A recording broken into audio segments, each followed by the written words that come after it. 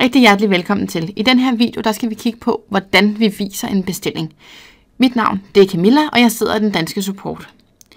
Når vi gerne vil se, hvordan vores bestilling ser ud, inden vi sender den afsted til vores leverandør, så går vi altså blot ind på selve bestillingen, ligesom I ser den her. Og så heroppe i højre side har vi en, der hedder Vis bestilling.